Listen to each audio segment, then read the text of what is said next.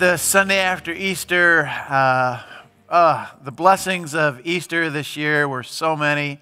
Uh, online, I hope that you were able to enjoy that uh, wonderful uh, the, the, music and the message, and just that epic story of Jesus. That it's the one in true and only truly epic story, better than Tarzan no, I'm not going to do it. Uh, better than all the other wonderful epic stories that we enjoy. I mean, I enjoy Star Wars, The Lord of the Rings, the, the, the Avengers, all those, Frozen. I mean, I've seen it many times with the grandchildren. So just love all that. And then the weather, oh my goodness, what a blessed Easter we had. Uh, if we would have known that kind of weather, we could have had an outdoor, safe service, uh, maybe even a sunrise for that Easter Sunday. Uh, but again, just thankful that, that, God gave us all that uh, blessings. And that's what we're going to be talking about for these next uh, five weeks is going to be uh, bless. It's an acronym, and we'll get to that uh, a little bit later. But as we are here on this Sunday after Easter, this epic story that we continue to live in, let's do the epic Apostles' Creed because it talks about God the Father, the Lord Jesus risen, and the Holy Spirit. So, together uh, with, uh, on this Sunday after Easter, let's confess our faith using the words of the Apostles' Creed. Let's do it in an epic way. I believe in God, the Father Almighty, maker of heaven and earth, and in Jesus Christ, his only Son, our Lord, who was conceived by the Holy Spirit born of the Virgin Mary, suffered under Pontius Pilate, was crucified, died, and was buried. He descended into hell. The third day, he rose again from the dead. And he ascended into heaven. It sits at the right hand of God, the Father Almighty. From there, he will come to judge the living and the dead. I believe in the Holy Spirit, the holy Christian church, the communion of saints the forgiveness of sins, the resurrection of the body, and the life everlasting. Amen. And let's pray the Lord's Prayer, the epic Lord's Prayer. We pray, Our Father, who art in heaven, hallowed be thy name. Thy kingdom come, thy will be done on earth as it is in heaven. Give us this day our daily bread, and forgive us our trespasses as we forgive those who trespass against us, and lead us not into temptation, but deliver us from evil. For thine is the kingdom, and the power, and the glory forever and ever. Amen. And now let's sing as we are together following Jesus long, as we sing the one real and true epic Easter story. Death was arrested and so we can be free in Jesus, God's epic blessings. Hello. Thanks for joining us. As we celebrate this first Sunday after Easter, I want to sing Death Was Arrested because Jesus is alive. You think about death being put on trial and Jesus justifying us. Man, what a hope. Let's worship. Alone in my sorrow and dead in my sin, lost without hope and no place to begin. Your love made a way to let mercy come in. When death was arrested, and my life began.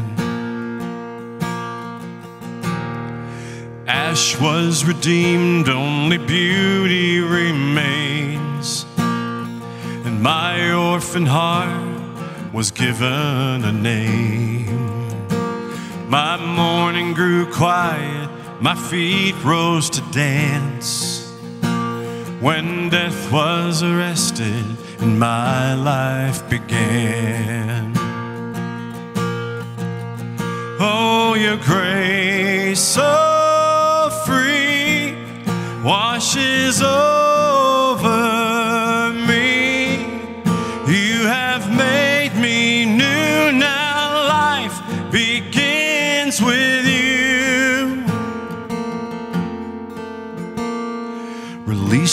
chain, I'm a prisoner no more.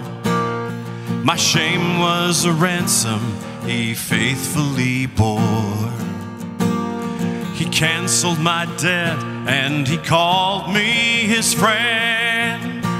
When death was arrested and my life began. Let's sing out together. Oh, your grace, so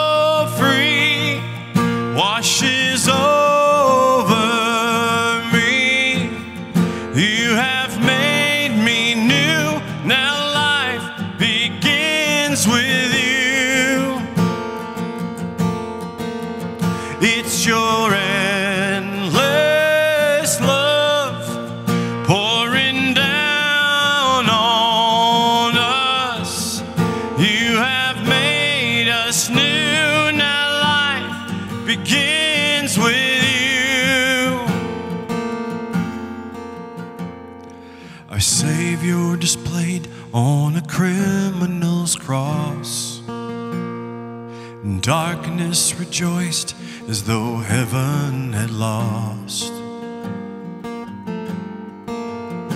But then Jesus arose with our freedom in hand. That's when death was arrested and my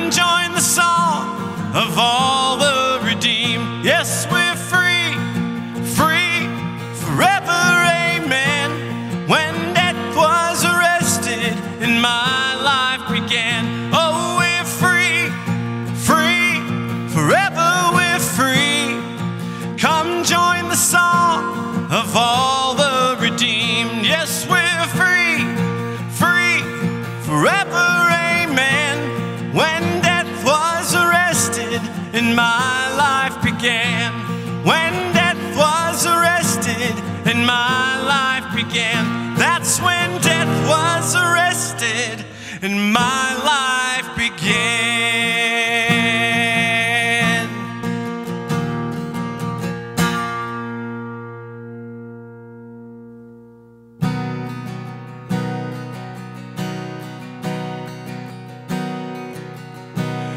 all creatures of our God and King. Voice and with us sing. Alleluia, Alleluia. Thou burning sun with golden beam. Thou silver moon with softer gleam. Oh, praise him. Oh, praise him. Alleluia. Alleluia. Alleluia.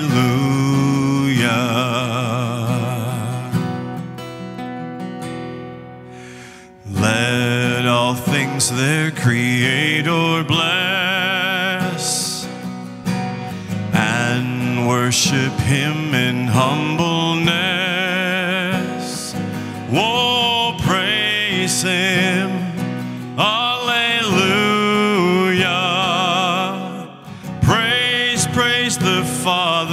Praise the Son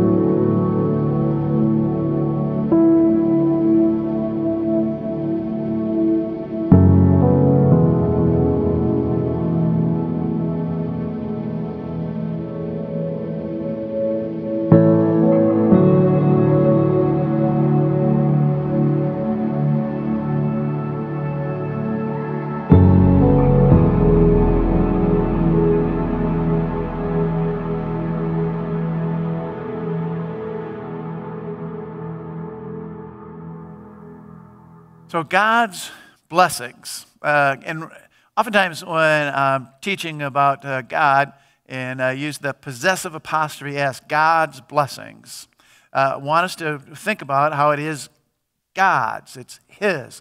It's His to give to us, God's blessings. Times when we teach about God's kingdom, uh, it's God's kingdom that is coming to us as we pray in the Lord's uh, Prayer.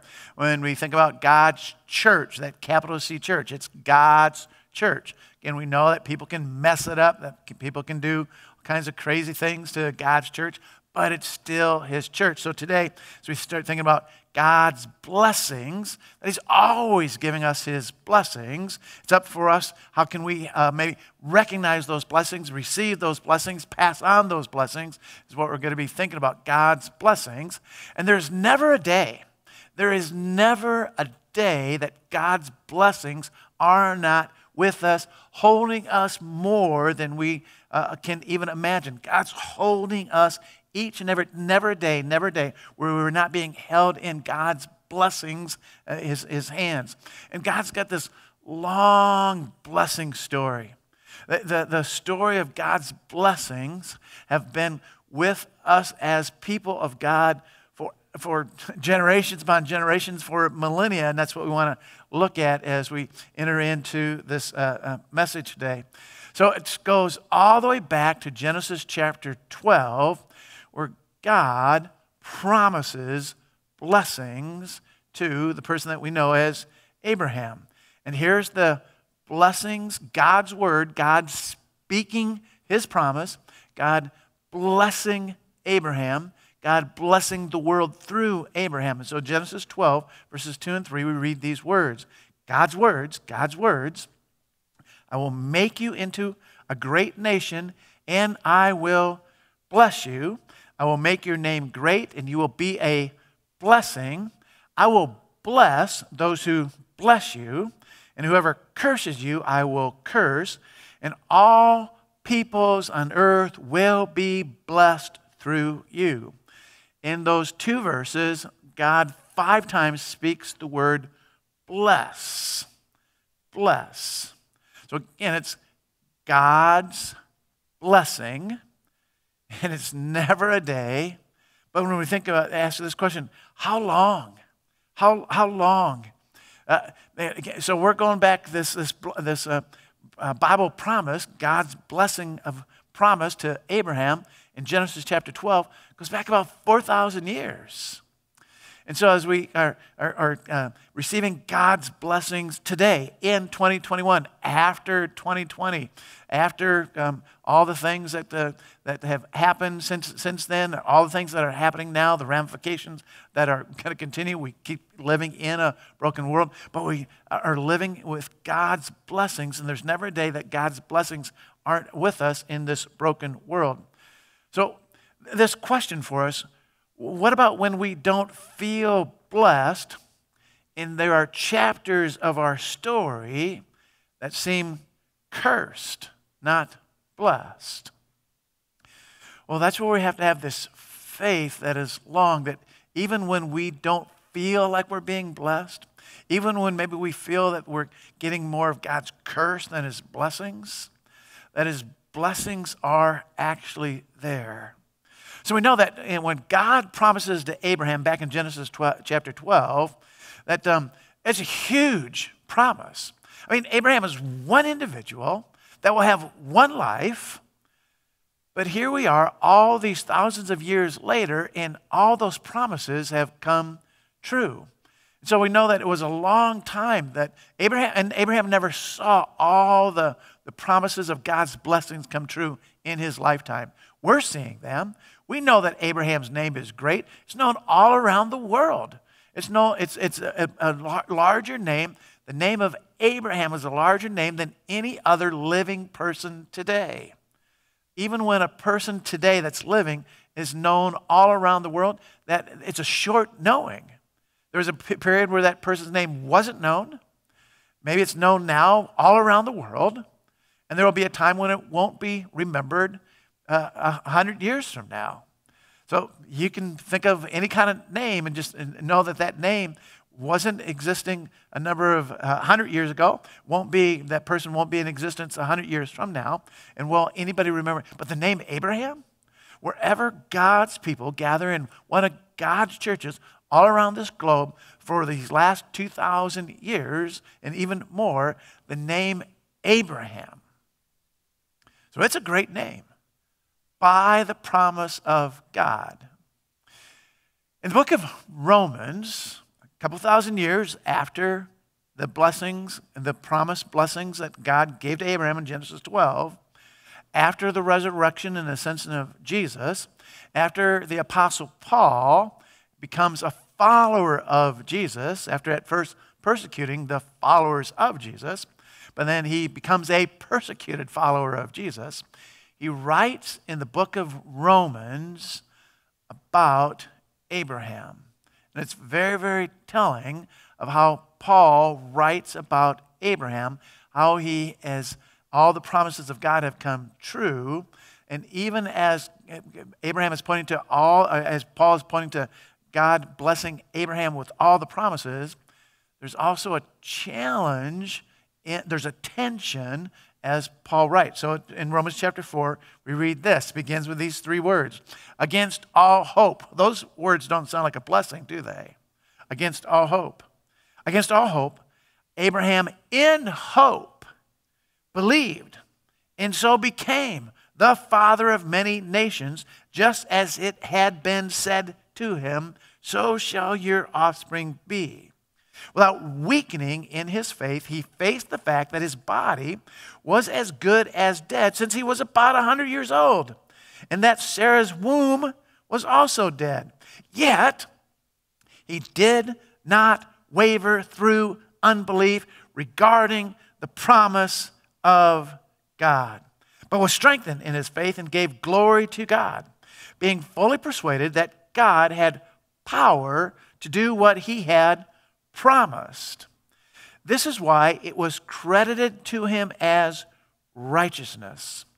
The words it was credited to him were written not for him alone, but also for us, to whom God will credit righteousness for us who believe in him who raised Jesus our Lord from the dead. And that's what we were celebrating last Sunday. That's what we're going to celebrate this Sunday. That's what we're going to celebrate every Sunday. That's what we're going to celebrate every day. Never a day, never a day, never a day, never a day without celebrating Jesus, our Lord, raised from the dead.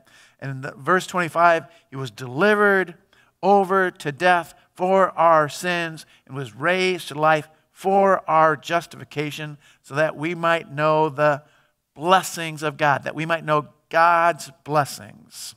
So we know, as we were saying last week, this is the one, Jesus is the one real and true epic blessed story.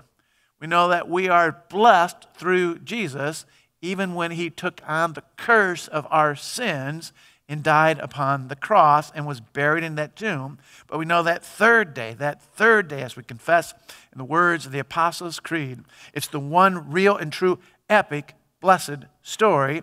And that's God's blessings in the story of Jesus. So there is never a day without the story of Jesus that is God's blessings story for the whole world. For God so loved the world that he gave his one and only Son, that whoever believes in him should not perish but have eternal life. That's God's blessings for the whole world. So it's God's long blessing story. Again, when we consider the words of uh, um, Genesis chapter 12, we can ask these three questions Did God's promise to bless Abraham come true? Yes. All of those have come true, and it's still coming true. But how does that apply to us then? Will God's promise to bless us come true? Well, if God's promise to bless Abraham came true, will God's promise to bless us also not come true?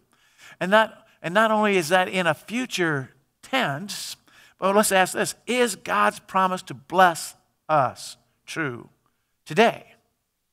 In these moments, as we worship our Lord Jesus, our one and true and epic story of our risen Lord Jesus. God's blessings are true for each one of us. Let's ask uh, these two questions. What's our definition of bless? What's God's definition of bless? Let's go to a story that Jesus tells and see if uh, we can answer these two questions. So in Matthew 21, Jesus tells this parable. He starts off with a question What do you think? What do you think? So again, let's uh, answer that question. Let's uh, play along with Jesus as he a- asked that question to us. What do you think? There was a man who had two sons. That's a blessing, two sons. He went to the first one and said, Son, go and work today in the vineyard. And you know, very common request. It's not an unexpected request that a father who owns a vineyard, has got two sons, uh, again, probably talking about a teenage son at this point, son would go and work today in the vineyard. And the son answers, I will not. But later, he changed his mind and went. Then the father went to the other son and said the same thing. And that second son said, I will, sir but he did not go. Which of the two did what his father wanted? And they answered, and we would answer with them, the first. So you see, the two sons, God's blessings, the father's blessings, are there for both sons. Though both sons came to life through their father's blessings, both sons are being blessed by their father as they have a place to live, as they have shelter, as they have food, as they have clothes, as they have love. The father's blessings are all over these two sons. One son says, No, I won't go. That's not a good thing. But later changes his mind and goes and does what the father asked. And we, we know that there's going to be more blessings for that son. The other son says, No. Or the other son says, Yes, I'll go, Father. Yes, Father, I'll go. But then doesn't go. We know that there's going to be a reckoning with that second son at some point. So when we think about how, how does God define blessing and how do we define blessing? Well, there might be a difference. And then Jesus goes on and takes this parable that he tells and says some very, very hard and challenging things so that we don't miss the blessing of God because of how we define the blessing that we want for ourselves. Jesus said to them, I tell you the truth, the tax collectors and the prostitutes are entering the kingdom of God ahead of you. For John came to show you, to, came to you to show you the way of righteousness, and you did not believe him. But the tax collectors and the prostitutes did.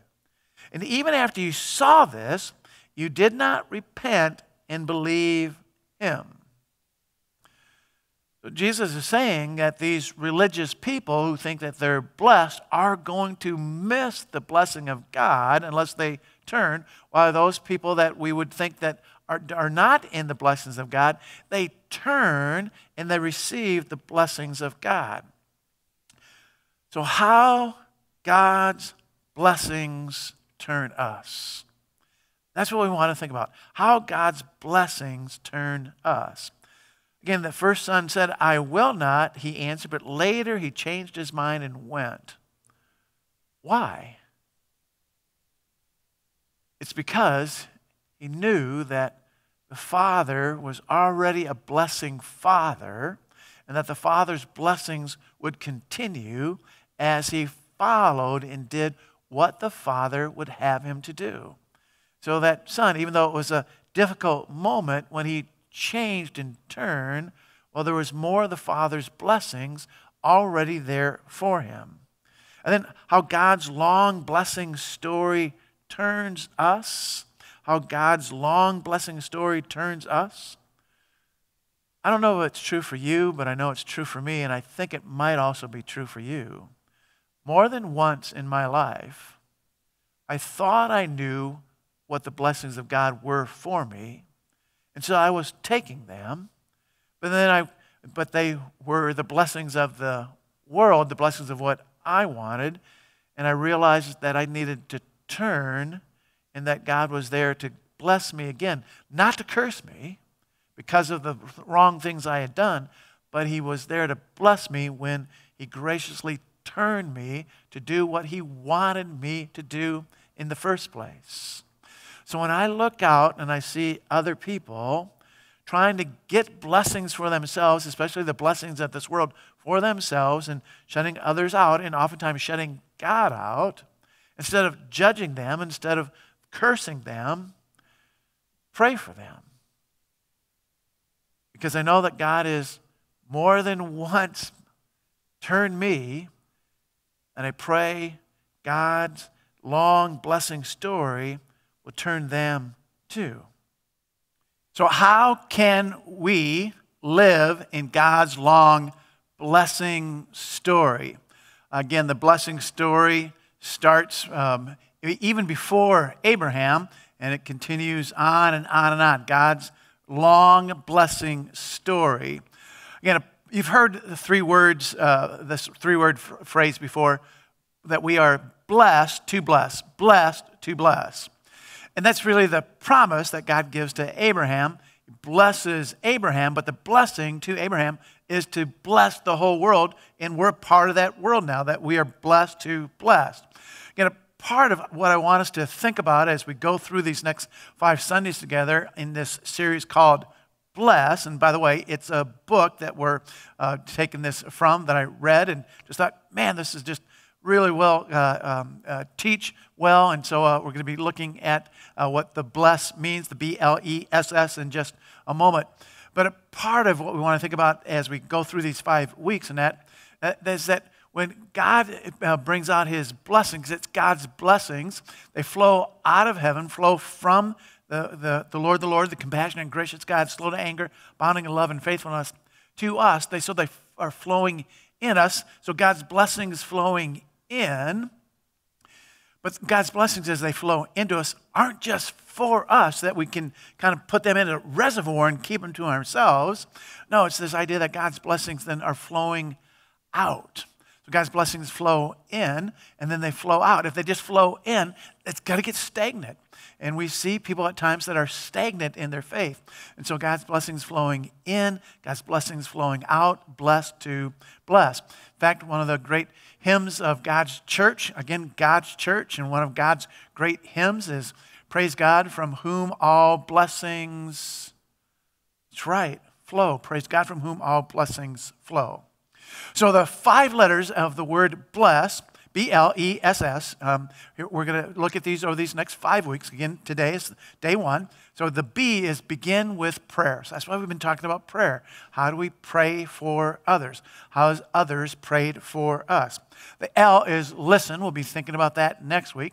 How do we listen to God and make sure that we are listening to Him and that we turn and we repent like that first son did when he said, No, I won't go. But then he changed his mind and he went. We don't want to miss that turn. We don't want to miss listening to God and that we go out and do what God would have us do. That will bring a blessing to us. And then the E is for eat. We're going to have some fun with that in a few weeks, a couple weeks from now. Uh, eat. And then the, the first S is serve. Again, we're blessed to serve. We're blessed to bless. We're served to serve. And then the S, and it's just that idea of a story. We all have a story. We all have a blessing story. And so we want to be able to share our story with one another. In the book, uh, when it comes to this idea of uh, begin with prayer, here's the big idea to bless your neighbor, Jesus invites you to begin with prayer. To bless your neighbor, Jesus invites you to begin with prayer. Here's a quote from the book I cannot change the world. You cannot change the world. Even prayer alone doesn't change the world. Only God can change the world. However, God uses prayer to change us, and then God uses us to change the world. So we want to, over these next five weeks and beyond, and really many of us have started it way before this, to be praying long, bless prayers, praying long, bless prayers. We're going to begin with prayer, but we're going to listen to people. We want to eat with people so that we can serve them, so we can hear their story and we can tell our story. So we want to pray. We want to be praying out for others to be in God's hands of blessings. Again, just to remind ourselves the hands of blessings, that, God's hands of blessings are the nail scarred hands of Jesus. Those perfectly nail scarred, eternal hands of Jesus. Abraham was looking forward to being in those hands and being blessed by those hands. We look back to those hands. We look to those hands today that they are with us. We want to people have been praying for us to be in those hands of blessings. We want to pray for other people to be in those hands of blessings. Because you never know how God may move us and how God will move who we pray for. So, there's a part of all of our stories, my story and your story, there's a part of all of our stories that we never know all the people that ended up praying blessing prayers for us. As I was preparing this message, I went back to one of my high school um, mentors. Uh, there was a man in our church by the name of Bob Teese, and he uh, would work. He would teach Sunday school to us on Sunday mornings to the high schoolers um, in between our worship services. So the, all the little kids were going to Sunday school. We were going to this uh, teen class. And I remember one Sunday um, that uh, I, I, I, was probably up late on Saturday night, like a teenager, you know, 16, 17 year old. And Bob Teese was, um, this is back in the early 70s, and one of the things that had just come out in the early 70s was the Broadway musical Jesus Christ Superstar. And um, so he was playing some of the music, again, it was kind of rock music and Jesus Christ Superstar and then all the other, you know, um, I won't, we won't take the time to review some of those songs that were on there, but um, he was just trying to help us to relate that Jesus wasn't out of touch. And I have to tell you, I remember, because I was so tired that even as he was playing those um, the, the, the, songs, trying to give us a sample of each of the songs and some of the messages behind them, uh, I was falling asleep. And at the end, um, my other classmates, you know, they were obviously having a good time with me falling asleep during this whole hour. And at the end, uh, Bob Teese kind of asked, you know, what did I get out of it? And just kind of had to say, not much. I'm sorry, I was tired. And he was very, very gracious to me. And I just know that he was praying for me. And so all those years ago, praying for me, never knowing how that you kid that was falling asleep in his class would one day be a pastor. So I know there's all kinds of other people that, uh, uh, that I know have prayed for me, and all kinds of people that I don't know who have prayed for me. And I think the same is true for you. There have been all kinds of prayers of blessings that other people have prayed for us as a part of why we are in the hands of God's blessings.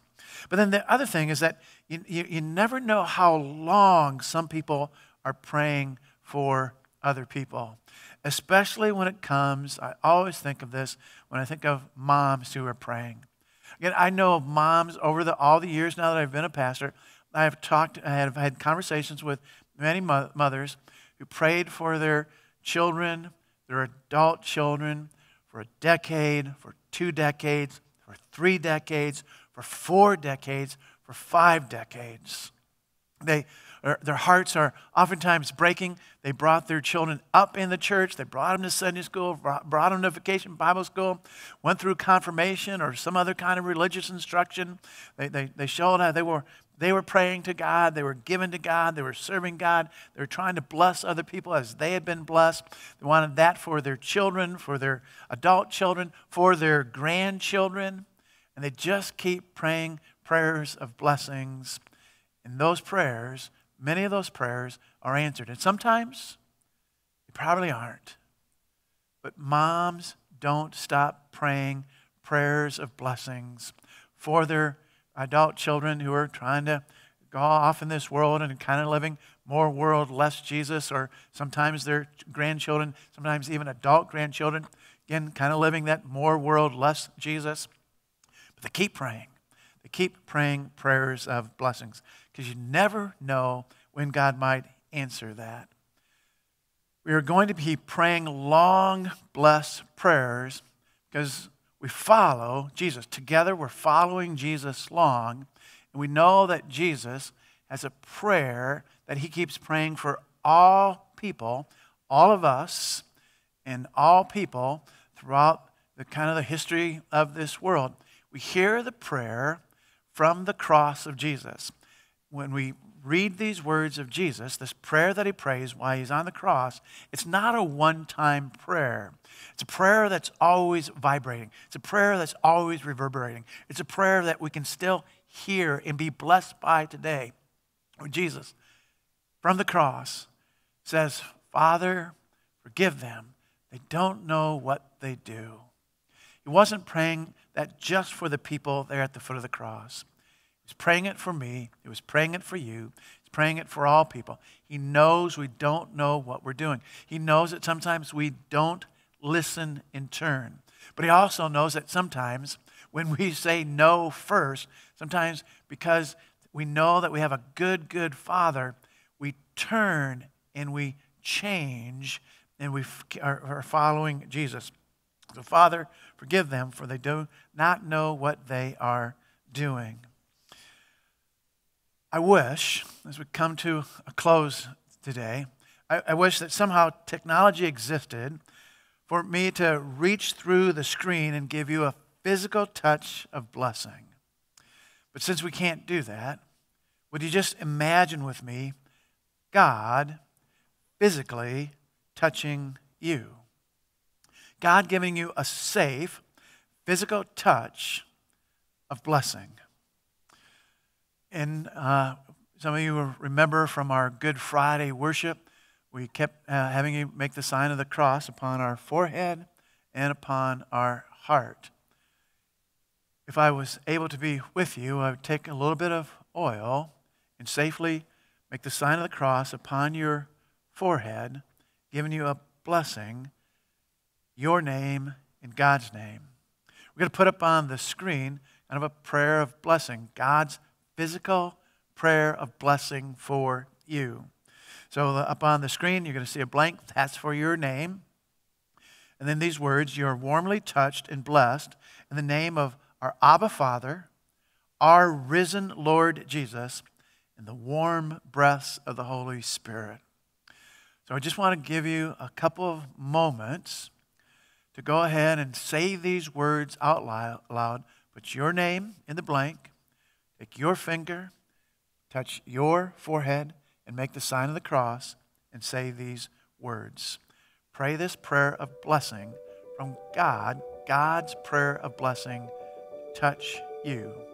Please take a moment and do that now.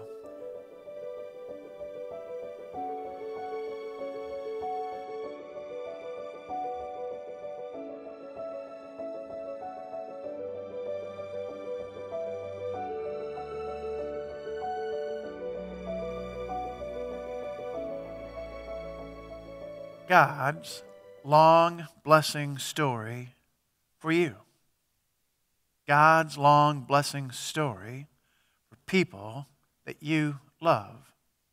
God's long blessing story for you to pray a prayer of blessing for souls that matter to God. Your soul matters, and the ones you love, their souls matter.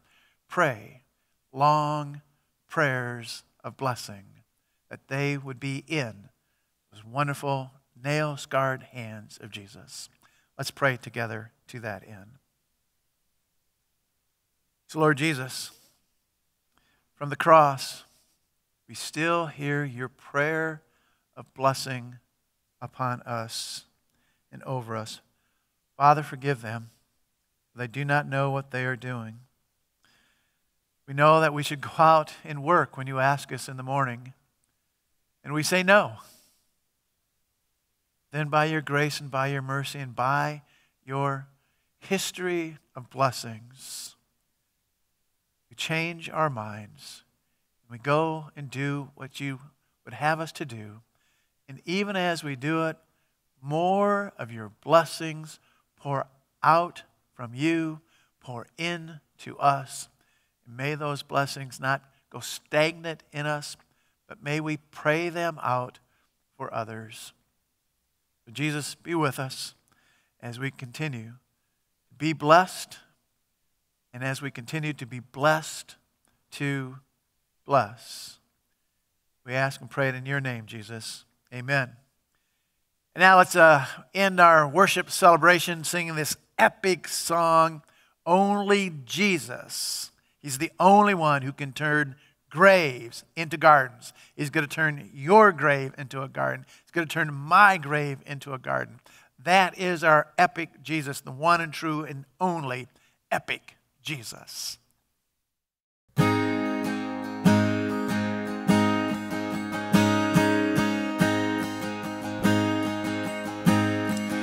I searched the world,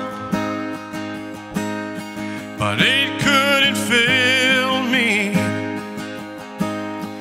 Man's empty praise and treasures that fade are never enough. And you came along and put me back together, and every desire is now satisfied here in your love. Oh, there's nothing better than you. There's nothing better than you, Lord, there's nothing, nothing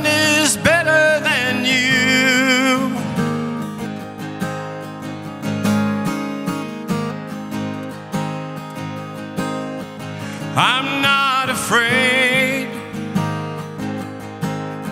to show you my weakness, my failures and flaws.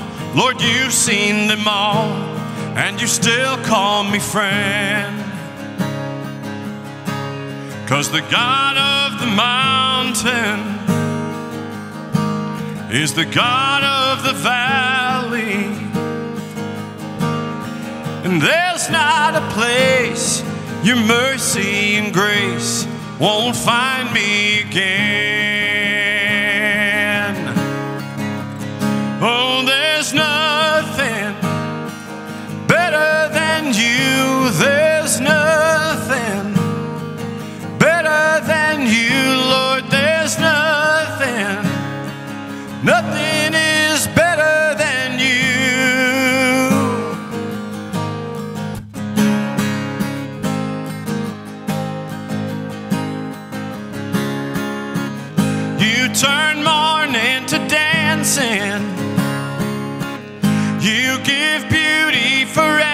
ashes.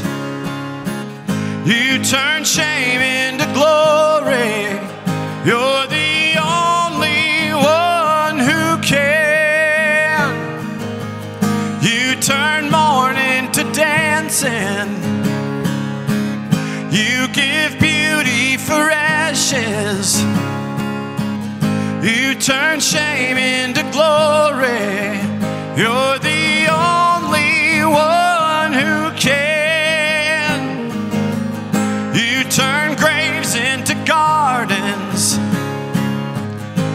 turn bones into armies.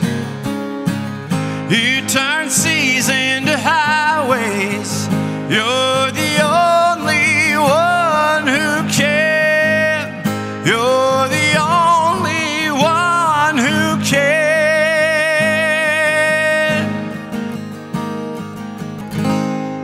Uh, again, such an amazing song. Only Jesus can, only Jesus can, only Jesus can turn graves into gardens.